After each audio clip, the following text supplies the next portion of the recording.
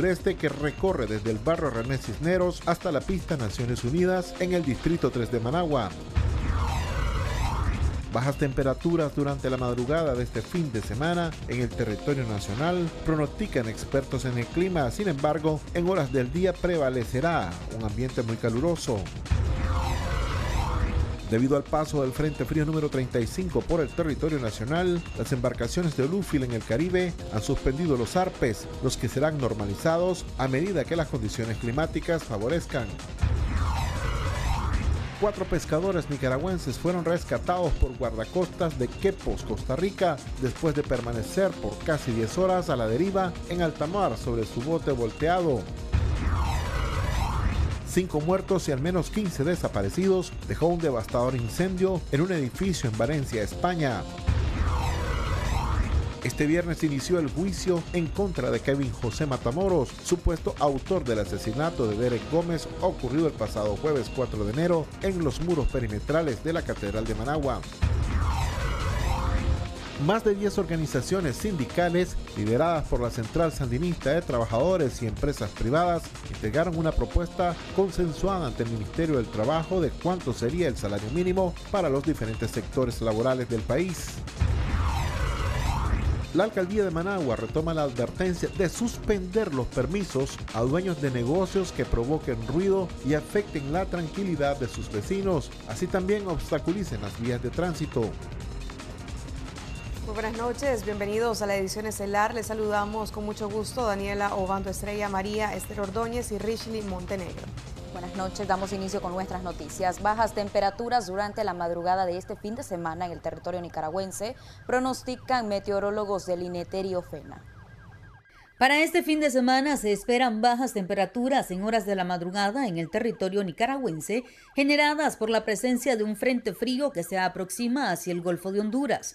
Los meteorólogos indican que ya en horas del día prevalecerá un ambiente muy caluroso debido a las altas presiones atmosféricas oceánicas predominando en Nicaragua. Día ayer la presencia de un sistema anticiclón sobre Centroamérica y México, como al mismo tiempo la circulación del Frente Frío número 35 hacia el este del Atlántico. Frente Frío número 37 viene descendiendo centro de México y Estados Unidos hacia el Golfo de México y otro Frente Frío número 38 viene acercándose a la costa oeste de México. Para este día viernes eh, tenemos siempre el anticiclón marítimo localizado en el centro de México al sur y el Frente Frío número 37 se localiza en horas de la mañana al mediodía en el centro del Golfo de México. Para el día de mañana sábado sigue circulando cerca del Golfo de México y el Golfo de Honduras. Para el día domingo está cerca, para el día domingo circula del Golfo de Honduras hacia el sur de Nicaragua buscando algunas condiciones de bajas temperaturas para en horas de la mañana durante el fin de semana. Al mismo tiempo estas temperaturas mínimas Pacífico entre 18 18 a 24, región central 11 a 22, Triángulo Minero al sur 15 a 22, región del Caribe de 20 a 25 grados Celsius. Los expertos indican además de rachas de vientos moderados a fuertes en varias partes. En el caso de la región del Pacífico alcanzarán de 34 a 74 kilómetros por hora. Las temperaturas máximas bastante fuertes en el Pacífico de 28 a 36 durante este viernes y fin de semana, 25 a 32 región central, Triángulo Minero al sur 27 a 33 y Caribe de 26 a 29 grados Celsius respectivamente, mientras que las velocidades de viento esperadas en el Pacífico de 34 a 74 kilómetros por hora, región central de 34 a 64 kilómetros por hora y en la región del Caribe de 34 a 49 kilómetros por hora durante este fin de semana como rachas ocasionales. Los meteorólogos del Observatorio de Fenómenos Naturales afirman que hay pocas posibilidades de lluvias en los próximos días, a excepción de algunos chubascos que podrían registrarse en la zona de Ciuna hacia el Triángulo Minero. María Esther Ordóñez, Acción 10. Debido al paso del Frente Frío número 35 por el territorio nacional, embarcaciones de Bluefields en el Caribe han suspendido los arpes, los que serán normalizados a medida que las condiciones climáticas así lo permitan debido al Frente Frío número 35 que ingresó a territorio nicaragüense. En la semana en curso se han registrado bajas temperaturas en diferentes partes del país y el aumento en la velocidad de los vientos, en especial en las regiones autónomas de la costa caribe. Por tal razón, dueños de embarcaciones de esta zona han suspendido el zarpe de embarcaciones durante el paso del Frente Frío número 35 por el territorio nacional. Sí, este, ahorita hay un pronóstico del tiempo que es el Frente Frío que está afectando toda la región de la costa caribe norte y tanto el sur y el norte. Eh, aproximadamente entró desde el día lunes, entró de las horas de la mañana, pasa el tiempo, baja y ya va a ser normalizando ya las salidas de las embarcaciones que salen a faenar y de cabotaje y las embarcaciones menores que pescan, que son las pangas que van a pescar. Teniendo en cuenta las condiciones climáticas provocadas por el Frente Frío, estas también afectan el desarrollo económico de esta zona, ya que también el sector pesquero se ve afectado. La parte económicamente afecta, este, baja su producción y el tiempo pues que y lo que hacen gastos pues acá embarcaciones que faenan porque hacen unos gastos de, de cómo salir de aquí pues de las compras que hacen ellos. Cabe destacar que el zarpe de embarcaciones estarán retornando paulatinamente a la normalidad a partir de que las condiciones climáticas causadas por el frente frío se vayan normalizando. Eleazar Quintero, Acción 10. Cuatro pescadores nicaragüenses fueron rescatados por guardacostas de Quepos, Costa Rica, después de permanecer por casi 10 horas a la deriva en alta mar sobre su bote volteado. Por casi 10 horas permanecieron a la deriva en alta mar cuatro pescadores de nacionalidad nicaragüense en Ubita de Osa, en el Pacífico Sur, dentro del Parque Nacional Marino Ballena en Costa Rica hasta que fueron rescatados por guardacostas de Quepos. Según expresó el capitán de la embarcación, una fuerte corriente conocida como Segundo Tumbo volteó el barco dejándolos a la deriva junto con sus tres compañeros. Nosotros ayer encontramos eh, con un poquito mal tiempo temprano. Los venimos a regar el equipo, regamos el equipo, lo apartamos a un lado, lo fondeamos y el muchachón se puso a cocinar y después los acostamos a descansar. Como por ahí de las 12 de la noche sentimos el primer tumbo que nos cayó adentro y los despertamos rápido. Buscamos qué íbamos a hacer el rápido y solo volvió a caer el otro y ya quedamos hundidos ahí. Se los dio vuelta y quedamos encima de, de, la, embarcación y hasta ahorita que usted ya, lo, ya los encontraron. y les doy muchas gracias a ustedes que hicieron de, su parte ahí y lo vinieron a, a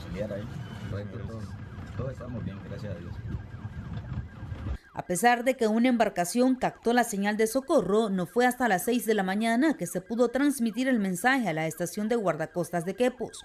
Los tripulantes fueron identificados como Santos Baltodano Mojica, quien se identificó como el capitán, Juan Carlos Jaime Salazar, Mariano Mesa y Alex Sánchez. Los guardacostas indicaron que afortunadamente lograron llegar al lugar donde las corrientes habían arrastrado a los náufragos y que se encuentran en buena condición de salud. María Esther Ordóñez, Acción 10. Una colisión entre una motocicleta y una camioneta provocó que uno de los conductores quedara con lesiones luego de salir catapultado en el sector de Corrales Verdes, carretera vieja a Tipitapa. Fue la tarde de este viernes que el conductor de una motocicleta que viajaba de Managua hacia Tipitapa, la moto en que se desplazaba quedó incrustada debajo de una camioneta donde se estrelló al no guardar su distancia, hechos que se dieron en el sector de Corrales Verde, carretera vieja Tipitapa. El motorizado presentaba golpes en diferentes partes de su cuerpo del fuerte impacto que salió por los aires y este era asistido por miembros de la Dirección General de Bomberos.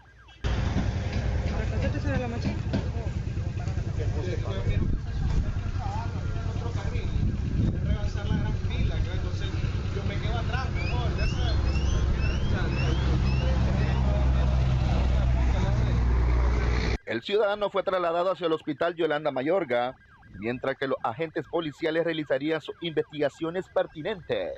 Para Acción 10, Danilo Muñoz. Dos personas lesionadas y daños materiales dejó un accidente de tránsito entre dos taxis en la comunidad El Salto del municipio de San Rafael del Sur. El cierre del tráfico en el sector del puente del Edén en la capital ocasionó caos vehicular este jueves y viernes. En el lugar podía observarse las largas filas de vehículos livianos y del transporte urbano colectivo que intentaban rodear la zona de cierre para incorporarse nuevamente al tramo de la pista Juan Pablo II.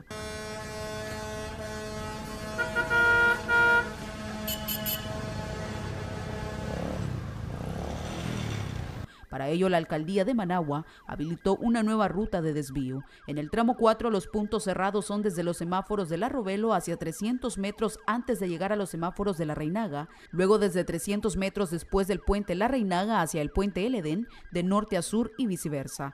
La nueva ruta trazada por la alcaldía indica que se utilizará como desvío el costado sur del mercado periférico, girando cinco cuadras hacia el oeste hasta llegar a la pista Juan Pablo II nuevamente y en sentido contrario para las rutas procedentes del oeste de la ciudad sobre la misma vía. Y con estos nuevos desvíos, algunas rutas del transporte colectivo se verán afectados de forma directa. Es por eso que la alcaldía de Managua ha emitido diferentes diseños de mapas para los conductores que transitan o que se desplazan por esta zona y así pues no ver afectado el recorrido que realizan a diario.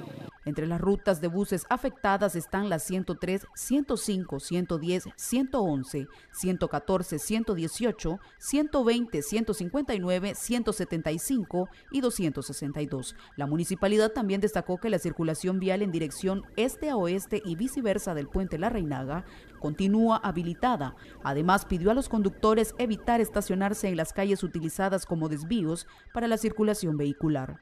Con imágenes de Julio Real, Heidi Solórzano, Acción 10. Y esa nota corresponde al cierre de las vías ubicadas por el puente El Edén, lo que ha dado paso al tráfico vehicular en este sector de Managua. Vamos a hacer una pausa, enseguida volvemos. por una motocicleta en la salida norte de la ciudad de Jinotega. El chofer del vehículo liviano se dio a la fuga. Con una fractura en uno de sus pies resultó el ciudadano Julio Ramón Herrera Rivera, luego que fue atropellado por esta motocicleta cuya identidad del conductor se desconoce. El precance vial se dio en la salida norte de la ciudad de Jinotega.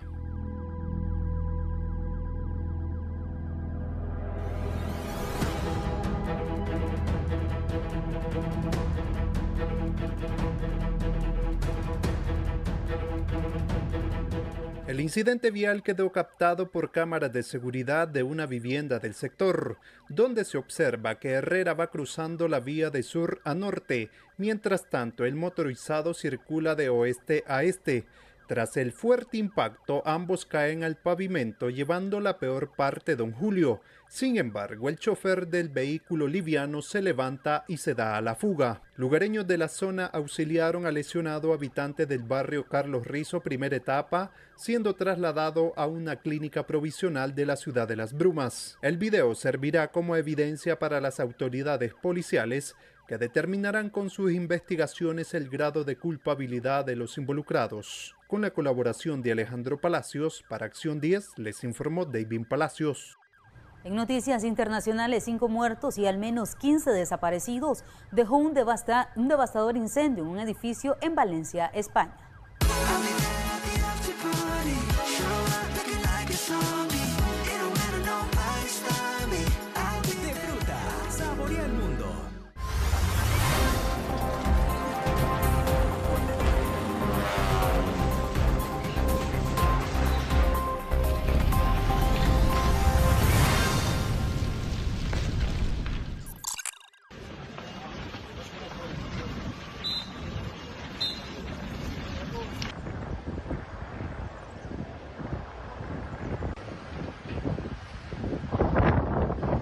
Considerado como el incendio más devastador en la historia de Valencia en España por las autoridades, ha dejado de momento cinco muertos y al menos 15 desaparecidos. Medios internacionales y en redes sociales se han publicado videos en los que se podía observar la magnitud de la emergencia. De acuerdo a testigos, el fuego se extendió por todo el edificio en media hora debido al fuerte viento. Este viernes, equipos de socorro trabajan en el lugar en la búsqueda de víctimas. Al mismo tiempo, agentes policiales investigan las causas de las llamas que desencadenaron la tragedia.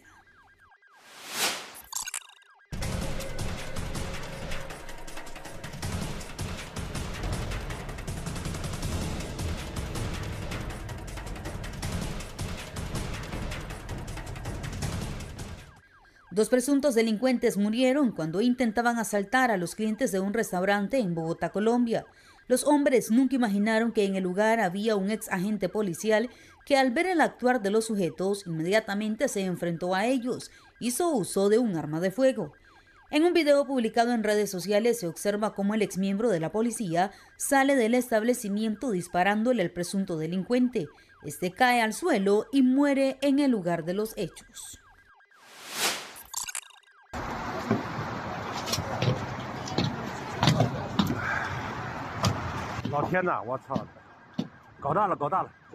Más de 100 vehículos colisionaron en una autopista de la ciudad china de Suzhou este viernes dejando a nueve personas heridas. De acuerdo a la información brindada por medios locales, el accidente se produjo debido a las extremas condiciones meteorológicas. A través de videos compartidos en redes sociales, se observan varios vehículos destruidos y bloqueando completamente la autopista. Las autoridades han indicado que tres personas fueron hospitalizadas y que agentes policiales realizan las investigaciones para determinar las causas del suceso.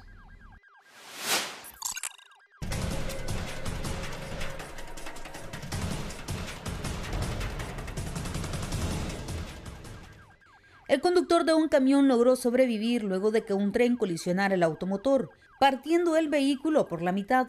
El preciso momento en el que ocurrió el suceso quedó grabado en cámara. En el video se ve al chofer observando hacia los lados para continuar la marcha, pero de pronto aparece el tren que terminó llevándose la parte trasera del vehículo. Medios locales indicaron que el ferrocarril que transportaba pasajeros avanzaba unos 120 kilómetros por hora, una velocidad que pudo haber sido letal para el hombre que afortunadamente quedó ileso. El hecho ocurrió en el año 2021 en Wisconsin, Estados Unidos. Sin embargo, las imágenes han sido publicadas en las últimas horas. María Esther Ordóñez, Acción 10.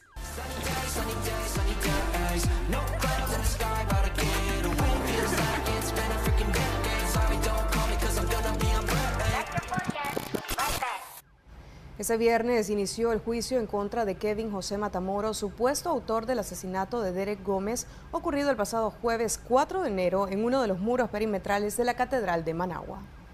Este viernes inició el juicio en contra de Kevin José González Matamoros, quien es acusado por el asesinato del joven Derek José Gómez Tijerino en el juzgado tercero Distrito Penal de Managua debido a que la defensa de Kevin Matamoros alegó que el joven padecía de problemas mentales, por ende no podía permanecer bajo prisión, el acusado fue sometido a una evaluación psiquiátrica en el Instituto de Medicina Legal donde se determinó que no tiene tal afectación. Durante la audiencia del inicio del juicio fue llamado a declarar un guarda de seguridad del centro comercial Metrocentro, quien reconoció a Kevin Matamoros como la persona que estuvo con el joven de 22 años en el centro de compras horas antes del asesinato, mientras González negó ser la persona en el video, pero reveló que consume drogas. El crimen ocurrió la tarde del jueves 4 de enero, en un predio baldío ubicado en el costado suroeste de la Catedral Metropolitana Managua. Aparentemente, ambos se reunieron en el centro comercial antes mencionado y luego se dirigieron al lugar donde ocurrió el hecho. El delincuente, después de asesinar al joven de cuatro cuchilladas, dos en el cuello, uno en la cabeza y otro en la espalda, le robó su billetera con 10 dólares, 3 mil córdobas, un celular y un suéter color gris. Acción 10, Jennifer López Mercado. Extienden petición a la justicia de Nicaragua para levantar orden de captura que fue puesta al actor argentino Juan D'Artés tras ser acusado de violar a la actriz de la serie televisiva Patito Feo en un, un accidente de tránsito entre dos taxis en la comunidad del Salto en San Rafael del Sur dos personas lesionadas y serios daños materiales fue el resultado de un fuerte accidente de tránsito entre dos taxis de San Rafael del Sur. El encontronazo tuvo lugar en la comunidad El Salto de este municipio, propiamente frente al predio de transportes Mendieta. Según testigos del suceso, supuestamente el exceso de velocidad que conducía el joven taxista Albert Gutiérrez causó que impactara contra el otro taxi de Braulio Silva. Dice que el carro azul había dado la vuelta pero el otro carro viene a exceso de velocidad. Y, hay un reductor. Y todos los taxeros conocemos que hay un reductor. Y el muchacho donde ve que el carro está en, el carril que va para abajo ya no, lo puede no puede esquivar de darle sino que trata de darle en, la parte derecha a este carro. Y él tiene el, choque en la parte izquierda. Entonces se tiró al camino y pasó allá por el camino y se fue a detener allá. Y a este del golpe lo hizo girar y lo metió aquí a la derecha de acuerdo a versión del taxista Albert Gutiérrez, el automóvil sufrió desperfectos en los frenos y al deslizarse en la pavimentada le fue imposible evitar el encontronazo. ¿Nos podría dar la versión del accidente? Es que yo vengo de, de arriba hacia de abajo. arriba hacia abajo, pero no me responden los frenos. Ya al llegar la, la- Al reductor de el velocidad. reductor, me, me tiro el reductor, le viene, él viene saliendo, le pego y me tira para acá. Le- le- le- el golpe me tiró para acá. Entonces, prácticamente fue por desperfecto en los frenos. Sí, no me agarraron los frenos, se me chorreó la llanta. Al producirse el violento accidente, Albert Gutiérrez perdió el control del taxi e impactó también contra un negocio de tortillería. Oficiales de la Policía de Tránsito de San Rafael del Sur se presentaron a realizar las respectivas investigaciones y levantar el croquis del accidente entre los dos taxis. Ya 20 minutos que me había ido para mi casa con mis muchachitas. Y bueno, yo lo que pido es que, que me paguen mi daño. Que me paguen mi mesón, pues, porque ese es mi, mi trabajito de todos los días. y deslindar las responsabilidades. Les informó en Acción 10 Eric Hurtado Urbina. Más de 10 organizaciones sindicales liderados por la Central Sandinista de Trabajadores y empresas privadas entregaron una propuesta consensuada ante el Ministerio del Trabajo de cuánto sería el salario mínimo para los diferentes sectores laborales del país. Más detalles con José Abraham Sánchez. Más de 10 organizaciones sindicales se ponen de acuerdo para proponer ante el Ministerio del Trabajo lo que puede ser el salario mínimo, que tiene que entrar en vigencia en la primera semana del mes de marzo de este año. habían por parte del movimiento sindical cuatro propuestas, entonces nosotros dijimos, bueno, presentemos una sola propuesta salarial, ¿verdad? De cara a los empresarios y también al mismo gobierno, pues porque es empleador. Y los reunimos, ¿verdad? En la casa del obrero José Benito Escobar, ¿verdad? Cinco organizaciones sindicales, donde unificamos, ¿verdad? Una sola propuesta. Y a esta propuesta unificada se adhirieron cinco organizaciones más, o sea, se- son diez.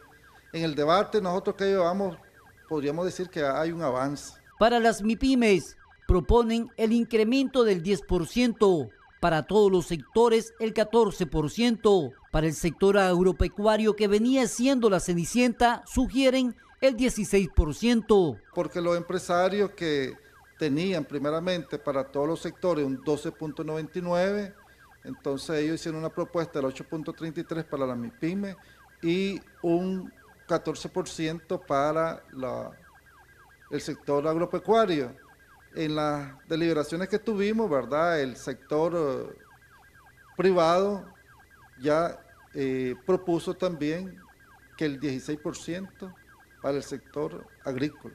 Consideramos que el próximo jueves no debe haber, ningún obstáculo y aquellas organizaciones que no han presentado, ¿verdad?, este, propuestas, pues lo vamos a sentir porque creo pues que nosotros vamos, podemos flexibilizar la propuesta, porque solo es un punto que lo estamos, un porcentaje para llegar a un acuerdo de consenso, entonces yo creo que en aras, ¿verdad?, eh, de llegar a un acuerdo tripartito y que sea de consenso, pues nosotros podemos todavía, ¿verdad?, flexibilizar un poco con tal de mantener el empleo, la estabilidad, la inversión en este país.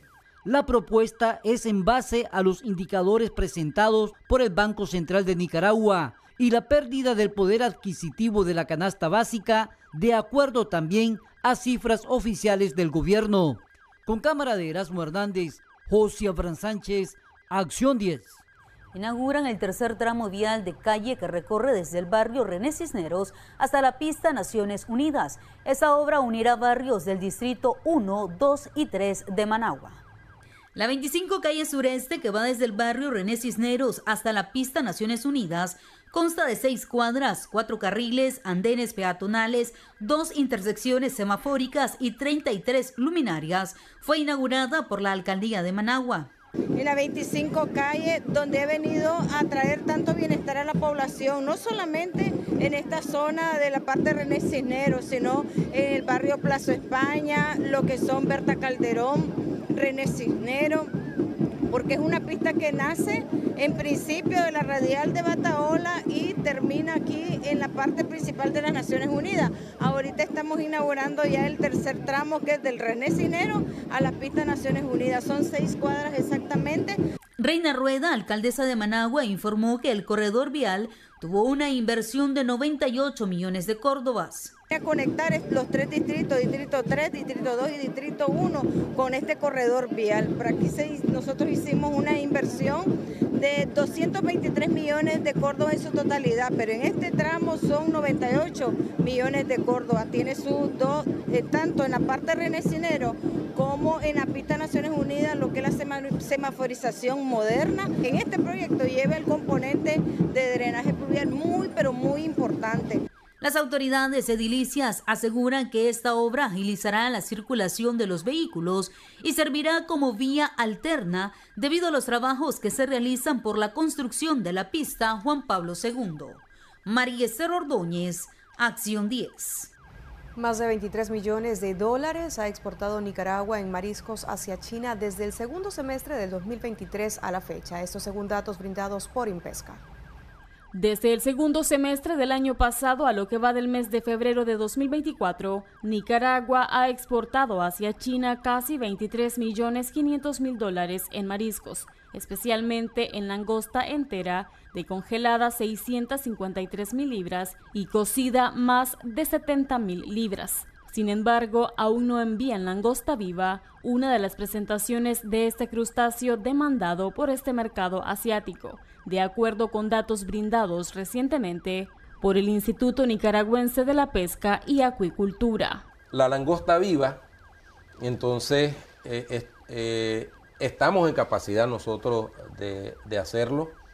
Estuvimos, una de nuestras empresas estuvo exportando a China vía México. Este, entonces ya tenemos el, el, know-how de, cómo hacerlo y nos estamos preparando para, para eventualmente volver otra vez con ese tipo de, de, exportación. Para el año 2025 nosotros ya vamos a estar bastante eh, adentrados a, ese, a ese mercado y con unas perspectivas de, de, crecimiento en cuanto a nuestros productos de pesca y acuicultura muy buenos. Asimismo, dentro de los productos del mar que se están comercializando hacia el gigante asiático, aparece el camarón de cultivo entero. Llevamos un, poco más de, de 308 mil libras eh, exportado hasta ahorita en febrero. El pepino de mar seco. Nosotros eh, la presentación del pepino de mar que nosotros exportamos es seco y hay una cuota de 972 eh, mil libras, de esas 746 mil fueron exportadas a, China, además de otros subproductos, chacalín seco, aleta de tiburón, buche de pescado seco, entre otras cosas. Tradicionalmente Nicaragua exporta mariscos hacia Estados Unidos, México, Europa y países de Centroamérica. Sin embargo, el sector tiene perspectivas altas de crecimiento en comercio exterior tras la puesta en vigencia del Tratado de Libre Comercio con China, que entró en vigor el primero de enero de este año, dando acceso inmediato a dicho mercado con el 60% de los productos que actualmente exporta el país, con un arancel del 0% para la carne bovina, azúcar, mariscos, miel, arneses y textiles, entre otros. Anduriña Ortiz, Acción 10. Pausa comercial, enseguida volvemos con más de Acción 10. Avanzamos con nuestras noticias. Para esta semana, los precios locales de los combustibles y gas licuado se mantienen sin variación. Así lo comunicó la vicepresidenta de Nicaragua. Durante la próxima semana, que comprende del 25 de febrero al 2 de marzo, se mantienen los precios locales de los combustibles y gas licuado sin variación. Así fue comunicado este viernes por la vicepresidenta de Nicaragua, Rosario Murillo. El Ministerio de Energía y Minas ha informado que brindan el seguimiento permanente del comportamiento de los precios internacionales y que se tomarán las acciones correspondientes que permitan mitigar el impacto del incremento en estos precios. Comunicamos que esta semana el Instituto de Energía, el Ministerio de Energía y Minas informa a nuestro pueblo que todos los precios locales de los combustibles y del gas licuado se mantienen sin variación compromiso con el bienestar de las familias nicaragüenses. Según datos oficiales, el Ejecutivo al asumir el 100% del alza de los precios, el Estado desembolsa entre 4 y 6 millones de dólares a la semana. Nicaragua mantiene los precios congelados del combustible y sus derivados desde el 9 de abril del año 2022. María Esther Ordóñez, Acción 10. Las actividades económicas en 2023 mostraron un crecimiento interanual del 5.5% según el Banco Central de Nicaragua.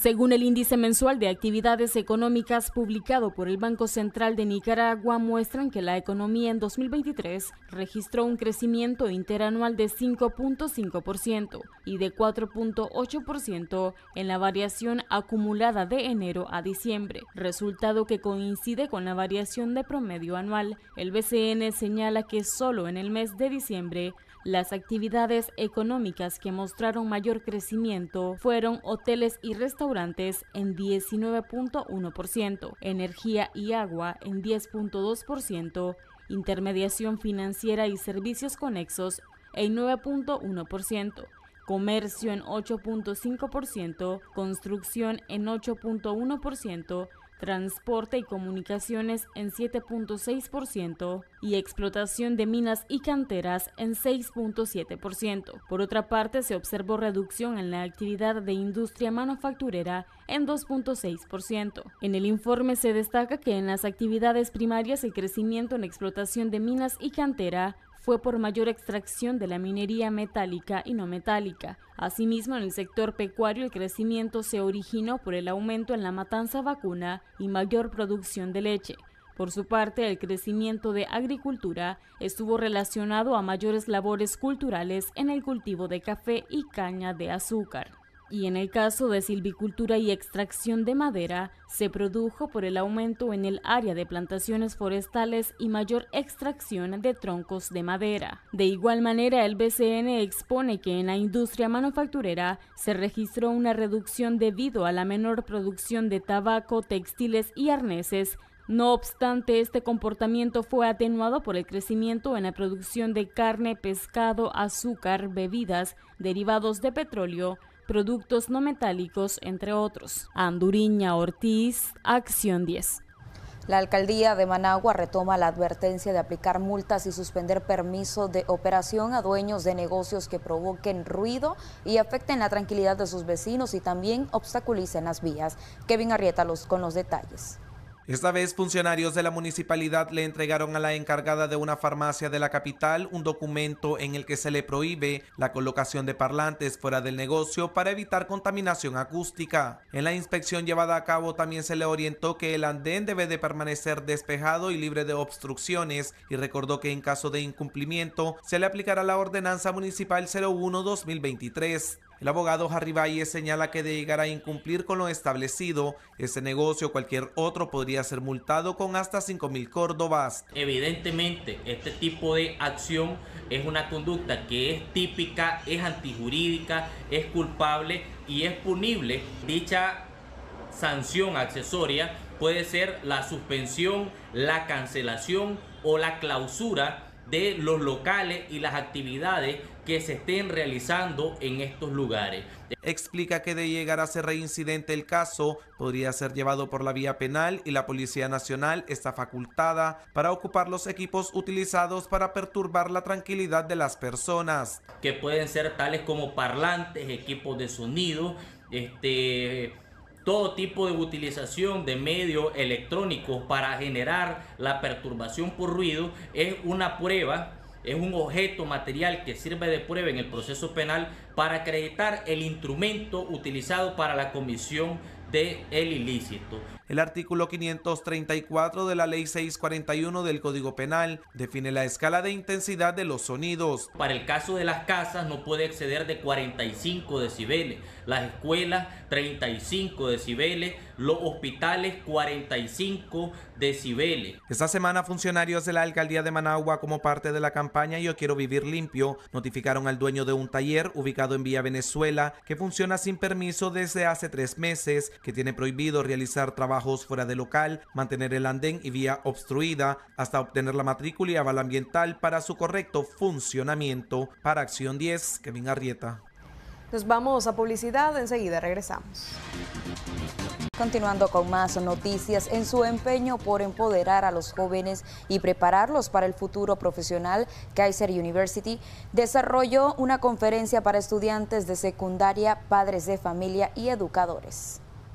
Más de 150 personas, entre ellos estudiantes de secundaria, padres de familia y educadores, participaron de la conferencia Cultivar una mentalidad de crecimiento para el éxito universitario, actividad realizada por Kaiser University.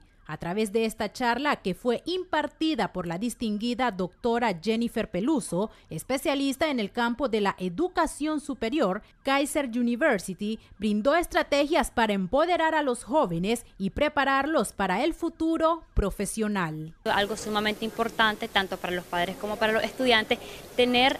Eh, como estar decidido, ¿verdad? En la carrera que ellos quieren cursar, estar empoderados. Entonces, esto es la charla, como brindarle esperanza, brindarle valor y también cómo pueden ellos enfrentar los retos que continuamente venimos viendo, ¿verdad?